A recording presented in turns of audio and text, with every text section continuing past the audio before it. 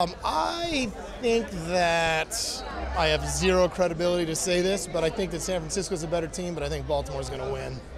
Because I just, I don't know, there's something about the whole, you know, like the little fairy tale Cinderella with uh, Ray Lewis retiring. All that. I, I, I think they got it. They've been, they've been close a few years in a row. I think they're going to be good. I think John Harbaugh is a great guy and a good coach.